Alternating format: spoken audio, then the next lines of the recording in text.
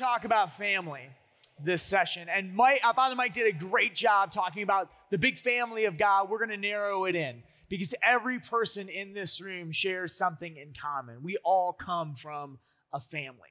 Every single person here, you were born into a family, and every family that we're a part of is unique.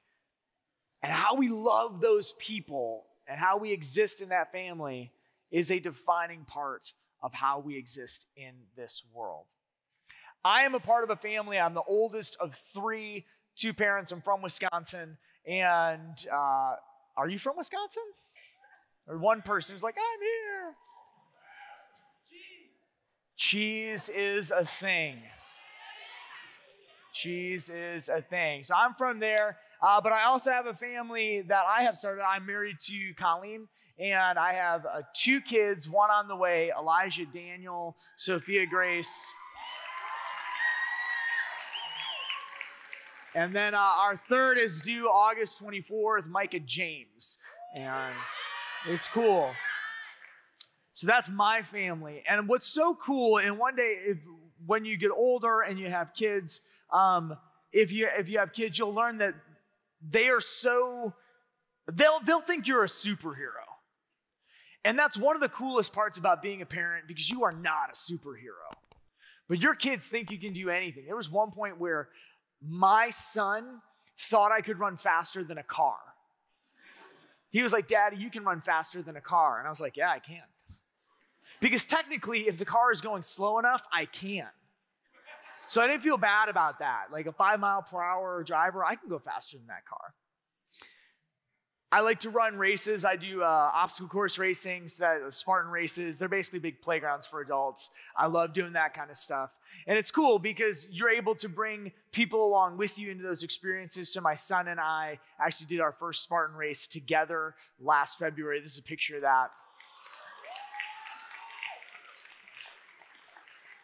It was so cool. He was so tough uh, at the very beginning of his race, which was just an unorganized mess. Uh, like a bunch of kids knocked him over and he hit the ground and like skinned up his knee. And um, when he got done, he didn't notice it at all. It was a mile race with obstacles. And when he got done, his knee was like all beat up and he had no clue. And I was like, man, that's, that's, that looks pretty tough. He's like, yeah, it hurts a lot. And I was like, well, let's go get a band aid for it. He goes, can we get a picture first? Now, this picture, he's got a band aid on, but we got a picture with his knee. It's all bloody. I didn't show that one because some of you might be squeamish, and I'm not going to do that to you in the middle of the afternoon, but it was gross. There were rocks in it and pus. It was awesome. Thanks for painting the picture, man. But I love it. It's fun. It's cool to be a parent, and I get to have these awesome moments with my son. My daughter is so funny and so hilarious, and just last on Thursday night at dinner, we were, just laughing, and my daughter's telling jokes. She's probably going to be a comedian, sincerely. And I'm like, this is so cool. This is a lot of fun. I had this realization, though, in that experience and thinking about the race with my son, that my kids are getting older, like rapidly. It's wild how fast time passes. And that I am well aware of my faults and my flaws, but soon they will be too. I, my son's not always going to think I run faster than a car. And there's a point that we hit in our lives, and I hit it at a certain point. You may have hit it already. We all hit it eventually, where we start to see our parents and our family members, our caretakers, less as like heroes or these supernatural beings. And we start to realize, wow, like, you're human. You're a sinner. You're flawed. You make mistakes just like I do.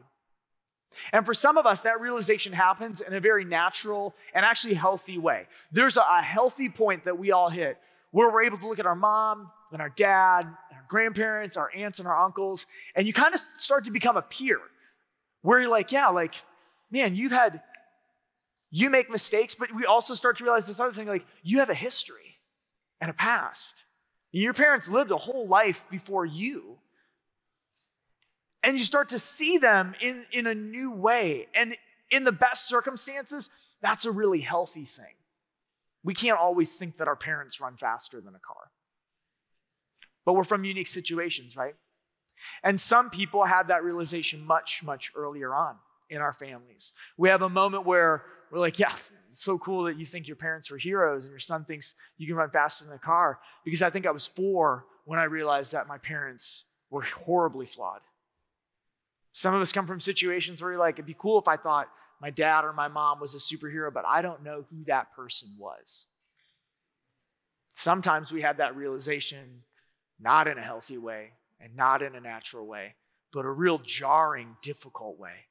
And some of us have found ourselves in situations in our families where we're like, it's, I'm kind of the head of the household. Like, I'm responsible for taking care of my brothers and my sisters. I have to take care of my parents.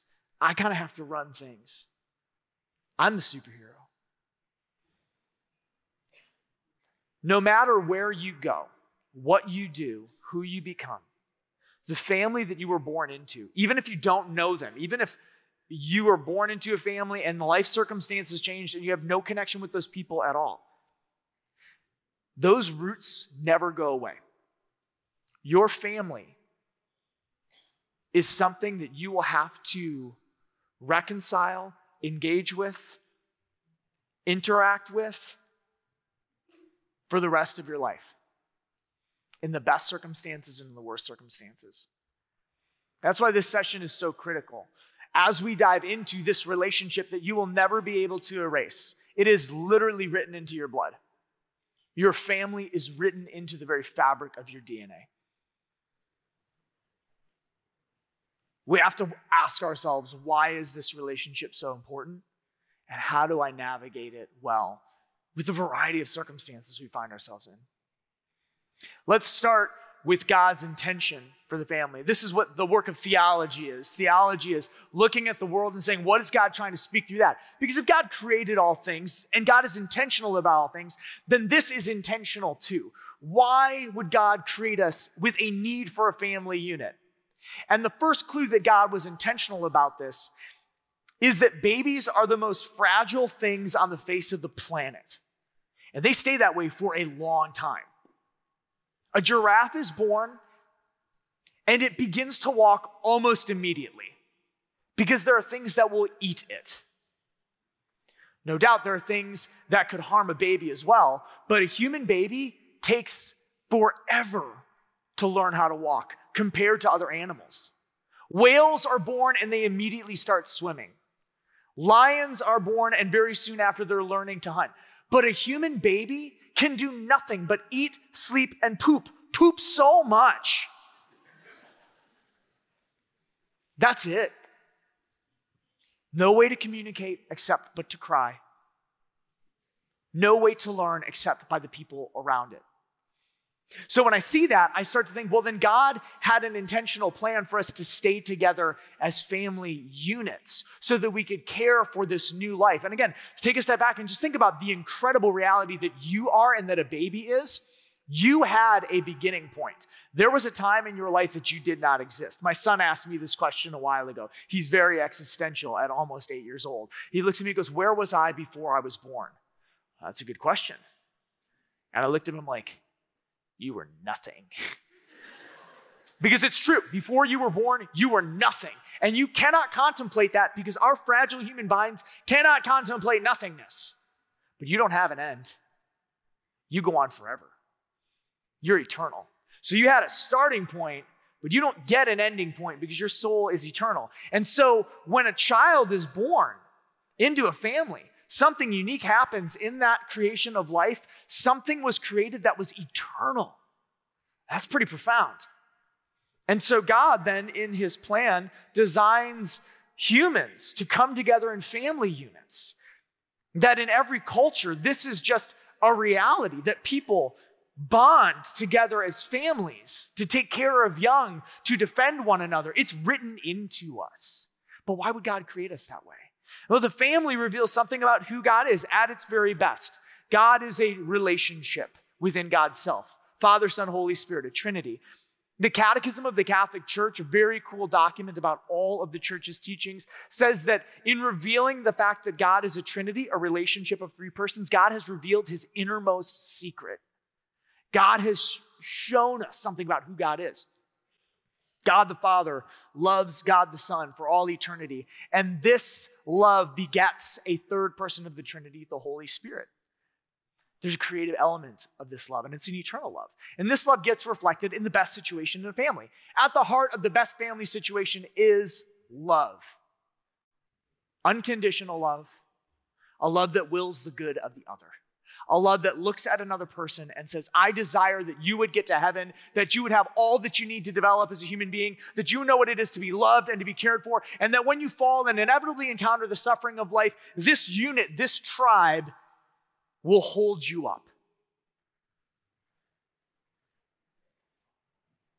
And God made it that way. Because the family, in a unique way, reveals something about God and who God is. But our world is filled with dysfunction because of sin.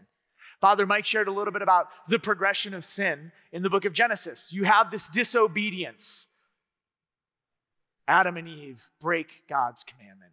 Instead of choosing freedom, they choose themselves. And in this, suddenly there becomes blame passing.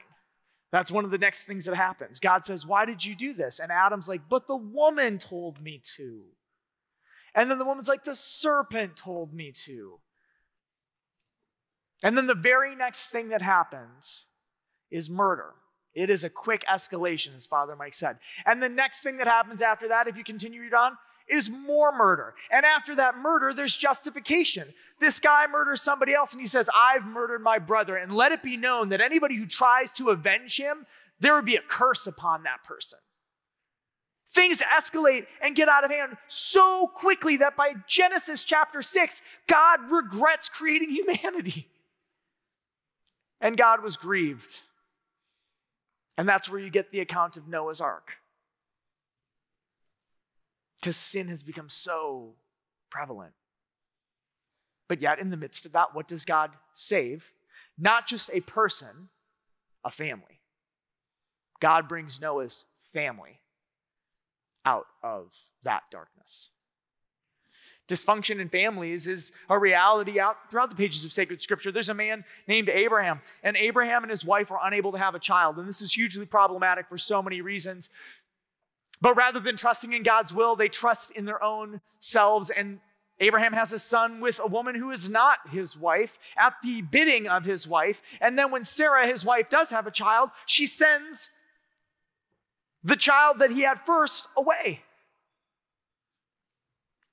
A couple generations later, there's a man named Joseph, and he's got several brothers who try to kill him, but then decide that that might not be such a good idea, so they leave him in a well and abandon him. They give him up as a slave. And then they go home and they lie to their father about it. See, the family units in Scripture, they're messy. But then God brings this redemptive element to it, correcting course with the Holy Family, the family that Jesus is born into. And there's some unique things about this family that I think of out, because we know that Jesus' family is Mary and Joseph, but it tells us something about the different families we're a part of. Jesus has a biological mother, Mary. I think that's kind of cool to reflect on when you think about Jesus. Jesus is conceived by the Holy Spirit, but as a child growing in Mary's womb, he shares Mary's blood. That's the human, but Jesus is fully human and fully divine. He has DNA, he has blood, he has a blood type. And it's Mary's. He has a biological mother.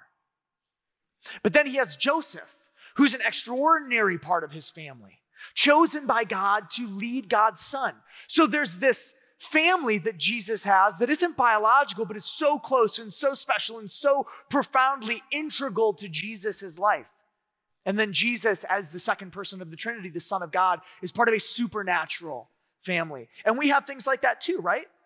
We have biological family that we're a part of. And maybe you have a deep relationship with those people brothers, sisters, moms, dads, aunts, uncles, grandmas, grandpas. And then there's extraordinary family that we're a part of. Families that we just, you grow so close with friendships, or you maybe have family friends like this where you're not related by blood, but you're just so close. We have people like that. Aunt Jody and Aunt John are not related to us by blood, but that's what our kids call them because our families are so close. We moved to Phoenix, and I don't have really any biological family in Phoenix, but there have been other families we've become so close with, we spend holidays with them. Those are extraordinary family members, and they're important too. And then there's a supernatural family that you and I are a part of the family of God. Jesus in Matthew chapter 12 is talking to a group of people, and some of his family have showed up. And people come in and they say, Jesus, uh, your mother and your extended family are here. What do you, they're looking for you. And Jesus uses this as a teaching moment because he looks at the group with them. He says, Who are my mother and my brothers and my sisters? Anybody who does the will of God. Those are my mothers and my brothers and my sisters. He takes the people that he's a part of, his biological family, his mother, his cousins, his extraordinary family, surely members of Joseph's family that are around him. The, the family unit's big in this area. And he extends it and says, We're part of the spiritual family, though. And that's important because when you enter into your family situation, I don't know what it looks like. I've got questions from a Q&A that we're going to walk through in a few minutes, but I know that for some of you, your family life is messy. And when we look at this, there's a couple of things I want to challenge you with in this workshop as you're looking at your family, because all of us are going to fall on a spectrum here. And so there's not like one stroke advice I can give you for loving your family, but I can tell you this that you need to. But what that love looks like looks different along the spectrum. You and I cannot get around when we talk about loving our family one big thing, which gets affirmed early on in Scripture and later on in Scripture, which is the fourth commandment honor thy father and thy mother. It's talked about in the book of Exodus and the book of Deuteronomy was the 10 commandments are related to Moses. And then St. Paul brings it up again later on in one of his letters. He cites that specific commandment. And he actually does a little bit of an explanation on it. He says, This is the only commandment that comes with a promise. And it is honor thy father and thy mother, uh, and you will dwell abundantly in the land. Like, you get something when you do it. So it's important. But what does it mean to honor your father and your mother? In the most healthy family relationships, there's still going to be strife. Families are going to mess up. Moms and dads are going to get it wrong. We are going to get it wrong. We're going to need to forgive one another. And so, honoring our father and our mother sometimes means forgiveness. They're human. And it also means asking forgiveness. I look back at some of the things I did as a young person that I was so indignant about, that I was so frustrated that my parents would think were wrong.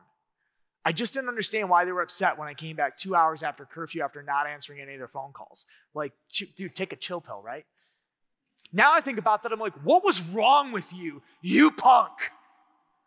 I terrible. My mom would be like, we called you for two hours straight. You are two hours late. Where were you? I'm like, oh, I just, my phone. I couldn't hear my phone ringing. It was a phone this big and it didn't have a silent function. sometimes we need to ask forgiveness.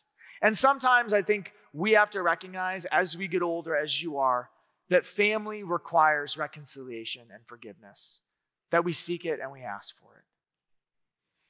But sometimes we find ourselves in situations where our family isn't healthy, where there's real issues with our moms and our dads. And we're like, it's hard for me to honor my father and my mother when my dad is an alcoholic who never shows up at home, and my mom is so distant and disconnected and hurt that she never talks to me. What am I supposed to do to honor them? That's tough.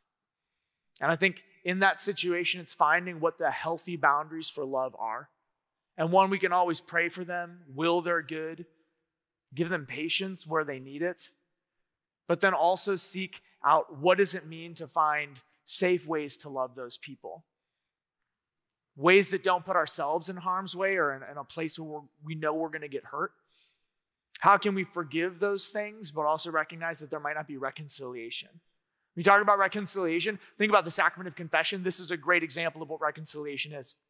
For reconciliation, the whole process to take place, there has to be a relationship that's broken through a fault. Call that sin. But think about just a normal relationship. I, I do something that damages the relationship. But then the next phase of reconciliation is I have to feel contrite. I need to be actually sorry for that. I'm sorry. I feel terrible that I did that. And then I have to ask forgiveness for that. I'm sorry. I actually say it. And then somebody has to forgive me, and then I make it right. So you see the sacrament of reconciliation here? I commit a sin, it breaks a relationship. I realize that I'm wrong. Oh no, I did something wrong. I go to a priest and I say, Bless me, Father, for I've sinned. This is what I did wrong. I say, I'm acting contrition. I'm sorry. Forgiveness and absolution are offered, and then I get a penance, something to make things spiritually right or to bring some sort of healing or closure spiritually to a situation. This is, I point this out because in your family, sometimes that whole process, it's not going to happen. Because somebody's not sorry, because somebody doesn't want to forgive you. But you can always forgive others and you can always ask for forgiveness. That's the part you control. So sometimes you get the whole thing, but sometimes you are just gonna have to say, Gosh, my dad was never there. My mom was totally distant. And I forgive them. Even though they didn't say they were sorry, even though they didn't ask for forgiveness, because that's about you. I said on Friday night, freedom is on the other side of fear, it's also on the other side of forgiveness.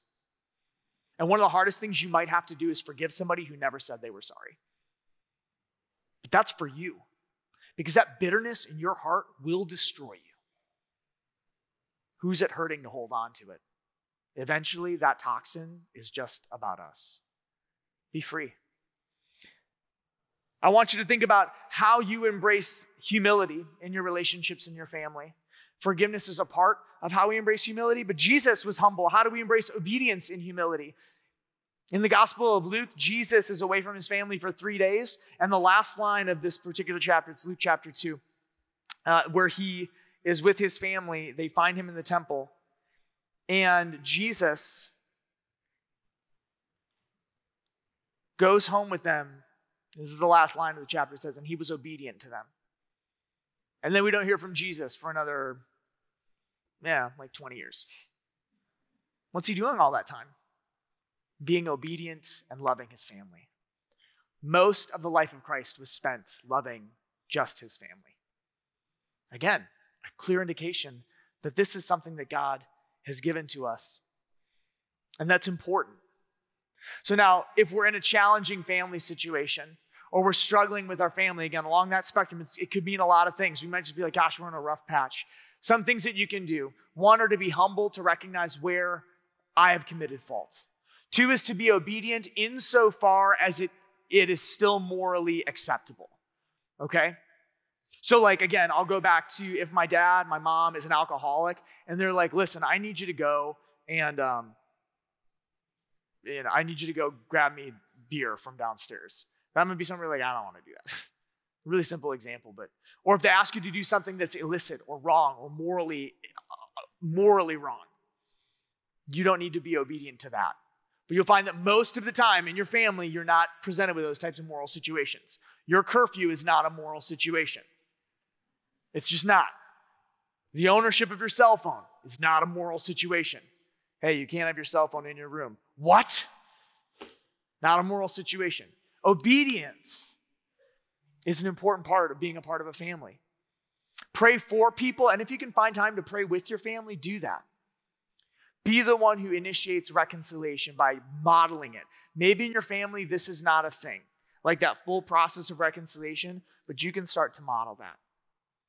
You can be the one who starts to bring that to your mom and your dad. The challenge is that I think we assume the work of family should be easy, but it's not. It's one of the hardest works that you will do. I will say that as a parent, I realize, and my wife and I talk about this, I'm like, this is the most exacting, intentional, difficult work uh, that I have ever done because it matters. And like, here's the thing I, I think I'm a pretty good dad. I'm not good at a lot of things, I'm terrible at basketball. I'm not a particularly good artist. I don't do well with scary movies, especially if there are ghost children in them. Not doing it. More centipedes. But I'm a good dad. That's the thing I want to be the best at. That's my life's work. And I made that decision even though I know that one day, despite all my best efforts, I will fail. That one day my kids, who's so awesome and they're so fun and they're so sassy, will probably look at me as maybe you've done to your mom and dad and say, I hate you. I don't want anything to do with you right now. I'm so mad at you. that that will happen. That when they get older, they will make decisions that maybe I agree with and maybe I disagree with. But I will give everything I can to be the best member of my family in the ways that I am able to. As Christians, that's our call in general to be the best son, the best daughter. But that doesn't mean, that does not mean caving in, giving in, rolling over, or letting our faith just fall apart. It means being a Christian witness. The other thing I want to touch on before we get into questions, you've got some really good questions, is this. If you are in a family situation, I need you to hear me here. If you're in a family situation where you are being hurt, physically hurt, if you're being physically assaulted, you have been physically assaulted, sexually assaulted, if you're in a situation like that, I want you later on today or tomorrow to talk to your youth minister or a chaperone about that. Because forgiving in these situations is still important, but in situations like that, there are other things that have to happen to actually bring reconciliation and to bring healing. And you have people with you at your parish that want to walk with you through that. There is nothing you have done, nothing that you could do, nothing that you potentially will do that warrants ever, ever a response that is abusive. There's not. And I need you to hear me on that because I know in those situations, it maybe if it's going through right now, well, like, I, I don't know, I deserved it. No, you didn't. No, you didn't. Yeah, but like that's my parent. No, it doesn't matter that it's family, it doesn't matter. So hear me on that because if that's you, after this session, I, I want you to have a conversation so that you can find healing and freedom on the other side of that. That's really important to me, and I want you to have that conversation within your group. Now, we're going to have a little conversation up here uh, with my friend Mary Bielski, who all the ladies know. Uh, she's going to come on up and help me with some of these questions you got.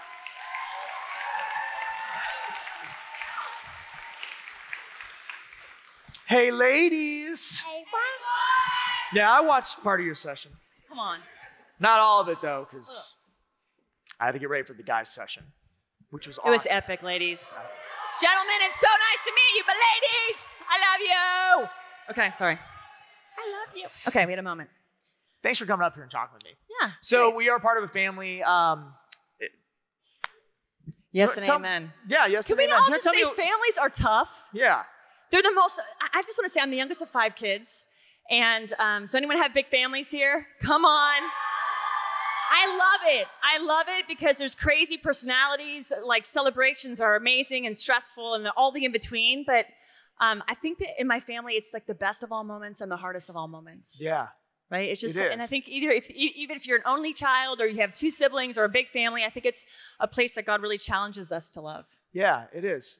Now, we got a few questions. I'm going to lump go. some of these questions together because we got a lot of the similar ones, but this is a great one. Um, we got a, several questions about just what to do in situations where the family religions are mixed. And so this is, and some of you are in this situation where maybe dad is non-denominational, mom's non-denominational, one of your parents is Catholic, one is not. Maybe brothers and sisters have fallen away from the faith or changed faiths. And I think even in those extraordinary families, we might have close family friends we have where they're of a different religious belief how how do we show them and invite them into our faith and kind of witness to them um, especially on topics that maybe are more like rooted in our religious beliefs i mean as you kind of think about that what are what are your thoughts how do we how do we navigate those interfaith relationships in our families Well, I think the first challenge is for us to know our own faith. And so for me, I, I think the, the, the, the call for me is to love Jesus and to know him and to know what I really believe. The best part about having a family that might believe different things is it really challenges you to look at what do you believe and what do you think.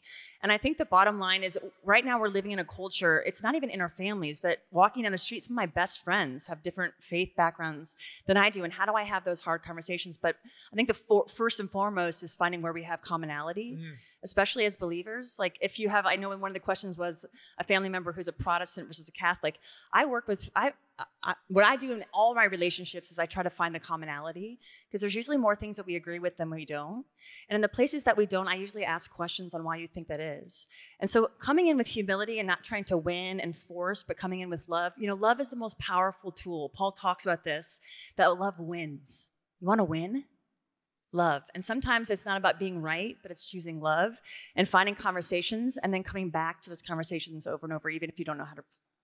Yeah, that's really good. I think the only thing I'd add is to recognize that in these relationships, it's like a long term process. I love that. I like love wins, and love is a long term process. So sometimes in these conversations, we go, I got to win right now.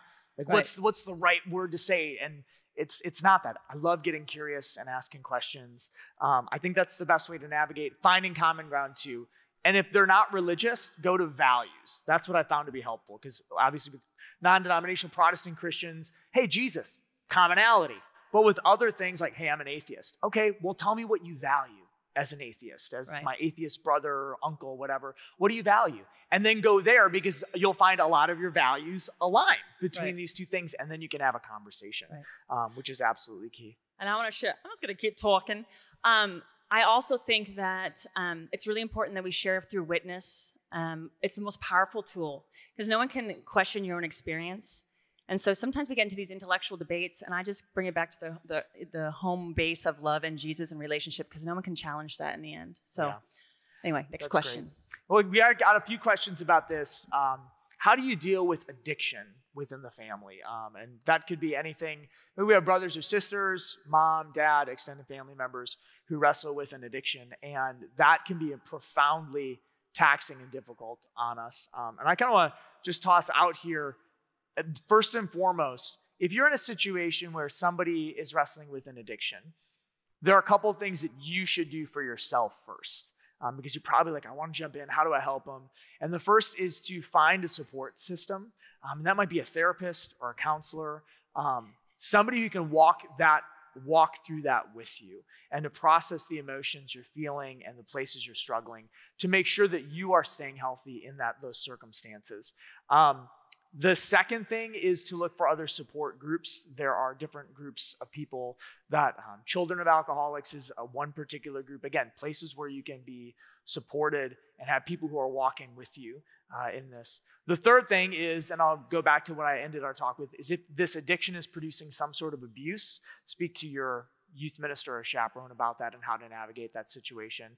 And the fourth thing I would throw out is just to lean back into that spiritual family of God, that you might not be finding some of the support you need at home, but perhaps there's something you could find in that spiritual community and that spiritual family. What are your thoughts on this, Mary? Well, I, I think that he's very wise. So well, well said. I would just add just a little bit more spiritual c- component because I think um, I want to like take off my shoes and get passionate about this. I, I work in life coaching and I work with a lot of people that have issues within their family, whether it's addiction, parents who are depressed, and we're going to have a lot of questions of how do we deal with parents. Y'all, your parents are older than you, and they're supposed to have it figured out. They're supposed to have, they're supposed to be the caretakers of your heart. And what's so hard is oftentimes our own parents are the very places where there's woundedness, pain, and addiction. And what we're all talking about is how do you respond to that? And I want to call you to say, you want to change your family, you have to begin in prayer. I am telling you that there is a power in prayer to walk into your house, in your prayer room, and you call down angels in your room. I'm telling you, there is authority in the name of Jesus. You pray in your heart to love. You ask for wisdom that surpasses all understanding. It says in James, when we ask God for wisdom, He'll give us wisdom because sometimes I don't know the answer, but I know a God that does. And when we have hard situations, sometimes we feel so powerless. But there's a God that actually wants to enter into your relationship. The other dynamic is number two is oftentimes because our parents are older and the authority, it's hard as an adolescent to be that place of authority. So you have to find older people that you can men- that you can lean into for mentorship. I work with a teenager. Um, she's actually 19, and I'll end with this. Who has a mom who is an alcoholic, and I've been life coaching her for a while. And the first time we life we did coaching session, she said to me, um, "I want to, I want to reclaim my story." And I was like, story? She said, um, like, tell me. I'm like, that's fascinating, right? I'm like, tell me more. And she was 20 years old. And I, and I said, what does that mean? And she said, I, I'm so tired of my relationship with my mom being the centerpiece of my brokenness. And I think that the reality of what we had to work through is how do you love your mom, right? How do you help your mom, but also knowing in the end, like, you can't fix your parents. It's Jesus. And so there's prayer, it's looking for outlets, but there will be a time that I promise you, if you stay in prayer and you ask for God for ways, He will move and open doors. But you have to look for resources. And the first and foremost is prayer. And as He said, counseling and relationships. Yeah. So just add to that. That's great. Uh, there's one question on here that I think might resonate with a lot of folks here, and I'm going to summarize it because it's a little bit longer. Um, but the the kind of crux of it is that um, my parents are arguing a lot about me, and uh, like I'm kind of the center of their arguments, and I, they they kind of want me to be perfect. But how do I how do I bring reconciliation into that um, when I seem to be the thing that's causing some of these challenges, um, especially if, if it's kind of hard to talk to to my parents. I think there's a lot there Yeah, I'm to like, unpack. I have to get the details. I'm like, sit down, let's talk. Yeah, yeah. I think so. In sort of in a general sense, I mean, what do we do? And again, like let's, you know, that at different moments in life, sometimes, again, I'm thinking back to one like teenage experiences I have now, looking back in hindsight, I'm like, ooh, yeah, that was stressful. Like I put some stress on on people there. Um, and so we have those moments. It's part of spoiler. That's part of growing up. Like you're gonna do things and put stress on your family and make mistakes, and and that happens. How do we navigate this situation where it seems like I'm a source of tension Right. in my family, and that's causing the tension? I have some thoughts. What, what do you think? Well, my first thought, and I don't know what you would say, is I would actually, if I was working with someone like that, I would really want to know what's the what's the argument and where's the truth. Mm. So if you are a cause to some of the issues, there's some questions, right? They're, they both, your parents could be crazy, and there's nothing. You're not. You're not. But what I, you can only control what what you have control over, right? You can't control your parents, but what am I doing? That's adding or not adding. What am I not communicating? And how am I participating in the cycle? Here's the deal that I do in coaching is that there's a cycle. Even if you're with someone who's unhealthy, like if you're dating someone who's super unhealthy, everyone's like, well, he's really unhealthy and I can't handle it. Well, if you're in a relationship with them, then you're responding to their unhealthy behavior. So, whatever dynamic's happening, the first person I would look at is yourself. What am I doing? How am I participating? Am I loving? Am I showing up? And if you most likely, if there's an argument, then the second part is how are they responding to that?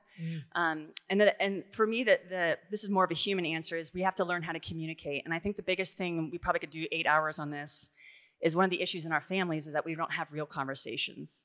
Can we get an amen? Amen. Can we get a real amen? Because it's crazy that there's like the right elephant in the room. Parents are fighting, and then I'm like, Have you talked to your parents about it? And you're like, Nope, right? So learning to have hard conversations, and most of us live behind a phone. We actually we, we text, we don't actually know how to have like real conversations to get to the heart of the matter. And so what we're talking about is that there's one, you can only deal with yourself, and then if there's issues between your parents, I would actually have a conversation with one of them to see what's going on and how you're partic- participating to solve that. Yeah. I- I think in, kind of being real about the situation too, as you look at it. And if you have siblings, you could ask them and bring them into it. If your parents are constantly arguing, you're like, oh, like it always feels like it's about me. I would be willing to put forward to you that there might be some other things there. And I think sometimes we internalize that, like, "Oh, I'm the cause, I'm the reason. And this happens in divorce sometimes, right? Like, if you're from a divorced family, you may have experienced this or maybe experiencing this now where you're like, "Eh, I'm the reason. Like, it was, it was me, it was my fault. Um, is to step back and to say, well, wait a second, there's other things going on.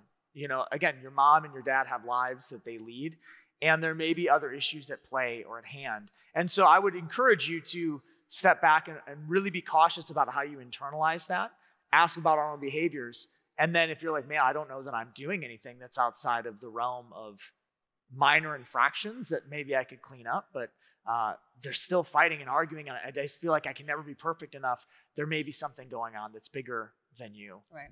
And then, and a great, this is my psychology background. A great statement that you could say if you learn to say this is when you do this, it makes me feel this way. So, one of the things I used to learn, and um, I used to do sales, and they used to tell us to sell to the no. What I mean by that is your biggest fear. Sometimes we don't say it in the room. So, sometimes what I would say to my, my sibling is, My greatest fear is that you, you don't respect me. Because whatever your fear is, my greatest fear is if I tell you the truth, you're really not going to listen whatever your fear is sometimes if you if you wait for the time and the moment you can't do it when they're watching tv or when they're stressed out. You ask for wisdom. But if you can have a conversation to, to, to either name the fear or the other thing to do so that's one area i say "Mm, my biggest fear is that if i tell you how i feel you're going to get upset. Like what if you ask the question what do i do if my dad just flips out all the time? Well wait till a moment that he's not in that zone and say you know one of my biggest fears is if i really tell you what's going on dad you're going to flip out. And just pause because what you'll find is that people will respond if you can get them in the right moment and just get to the honest truth. The second phrase that I often use, just put this in your pocket, is when you do this, if I feel this way. So if your parents are fighting, you say, when you guys fight and you're only talking about me, it makes me feel like it's my fault. So you're bringing this issue and you're bringing it to, up to the, the center part of the conversation. And hopefully you both have the maturity to actually walk through that. Hmm, that's good. There's a couple questions actually I'm going to link together. Go. Um, but I'm going to split them up in a particular way. Here's the first one How do I distance myself from toxic family members? And I think there's a couple layers of challenges on that, isn't there? Yeah. Um, especially if you are living at home with a toxic family member. Like, how do you kind of navigate that? You've been so insightful. I'm going to kick this one to you again, and then I'll, I'll follow Hide up. in your closet such good things to say. And pray for them to go. I'm kidding. Don't listen to me. That's not true. Um, you know, that's hard. I think that I have a, a, lovely siblings, but I have some siblings that talk in a way that aren't toxic, but they just talk in a way that isn't my preference in terms of like being nasty or saying things that are inappropriate. And um, whatever that is, uh, I, I think that the best way to do boundaries is is three ways. One is time, right? Space and conversations. So I limit, for instance, if I'm going to be in a situation where I know that. Um, like you know that with your family you're going to have to spend time with them amen amen you're not going to be able to be like i will not see my cousin because they make you, you can't do that so but you can limit your time with them right you can say i'm only going to spend 15 minutes or i'm going to it's like what i do with dating right? If you're dating someone that or like you, you need to get out of a situation you have your girlfriend that you can call and be like i need out right? So always have a way that you can like shift amount of time the depth of that conversation right? Um, and also having a couple of phrases that if there's a behavior that you don't like you have freedom check this out christians to actually say no i don't appreciate when you talk like that. And you can actually engage in setting appropriate boundaries in small and big ways yeah, that's really insightful. I think too, as you gauge those relationships, because uh, there are tiers or kind of a expanding circles of our family relationships, and sort of to assess like where does that person fall in my sphere of necessity of interaction. So if the toxic person is like it's my brother, my sister, my mom, my dad, I live with them. I think it's sort of asking, well, what are the what's at the roots of that toxic behavior? And again, having open communication and conversations. Hey, I feel like this is not a good thing and then maybe putting up boundaries if if we have to like yeah my this this behavior at home it's toxic. It's not one of those things that's abusive. We talked about that but it's just a talk it's not it doesn't make me feel good. I don't like that or being brought into it. Set up boundaries have particular times to interact. I found too that sometimes structure is good in those relationships where if it's a, a relationship of necessity i know that when we're doing this thing that relationship becomes less toxic. It's like there's a neutralizing agent. When we're playing a board game, that's not a toxic thing, unless it's Monopoly, which immediately makes every relationship toxic.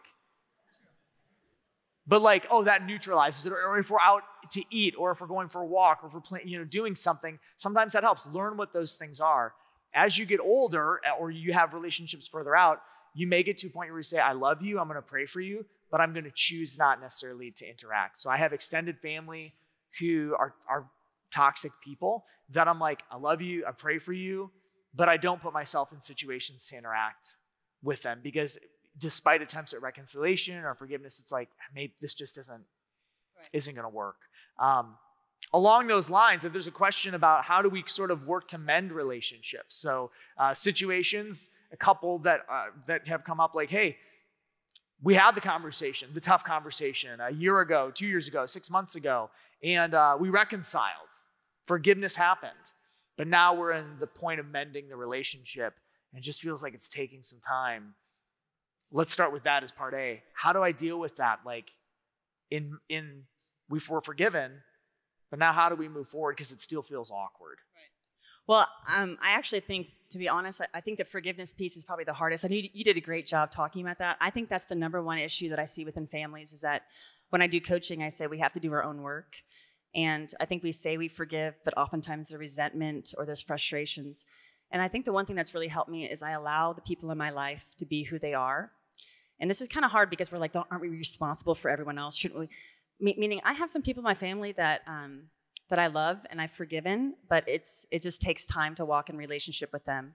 Um, and so, what does that look like? I think communication in terms of saying like, um, one of the things I've had to do with my sister, like I love, I have one sister who passed away, and then another sister who we are um, really close, but we're very different, very very different, and we see the world different, and we see our family different. Anyone else like that? You like you have one view of mom and dad, and they have a different view, and there's there's conflict. And so working through that dynamic with her, like learning to love her and walk through that. And I, have we've had many tearful conversations where I've had to say like this hurts or I disagree with this. Um, and one of the things that I did this last year is I, which was very riskful, I invited her to a conference that I was going to, and I um, just was with her. And I even said to her, you know, sometimes I don't know how to respond when this happens. I don't know how to love you. And I want us to have a better relationship. And I think one thing that you have to do is actually tell the other person what you desire. I want us to be closer. Because sometimes people don't know that I want us to have meaningful conversations. Like some of you have parents that you don't have depth, like they're just busy.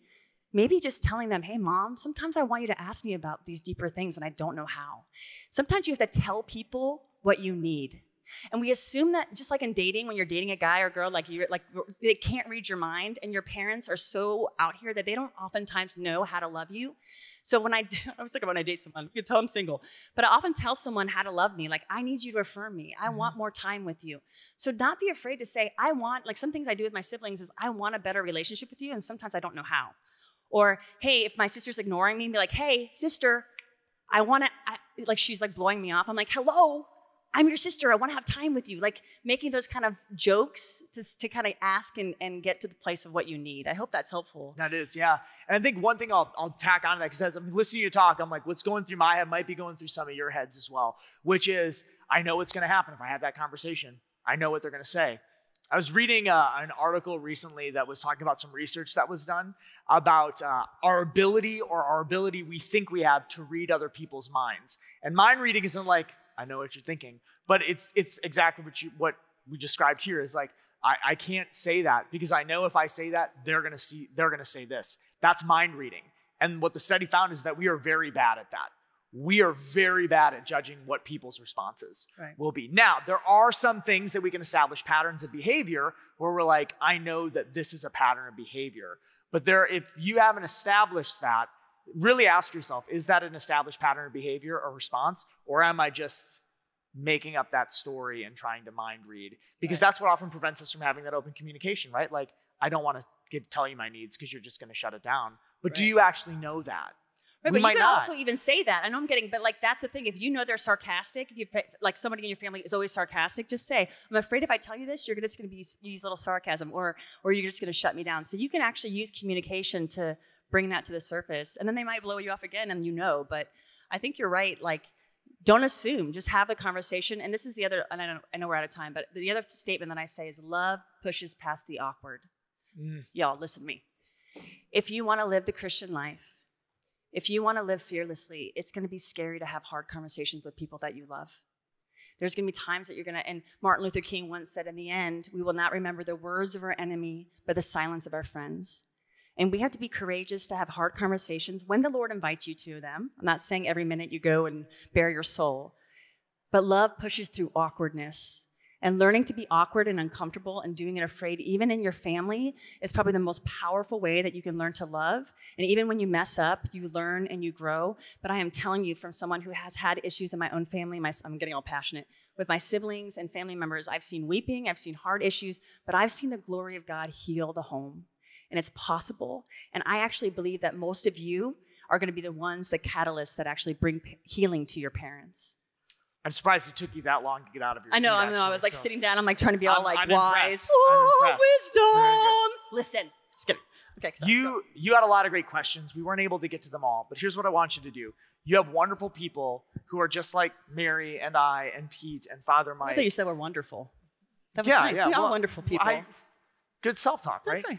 Uh, your youth minister, chaperones, priests are with you. Ask them these questions too. If you didn't get your question asked, ask them, How do I do this? What does this look like? Have those conversations with the people you came with. And let's close our session in prayer. In the name of the Father, and of the Son, and of the Holy Spirit.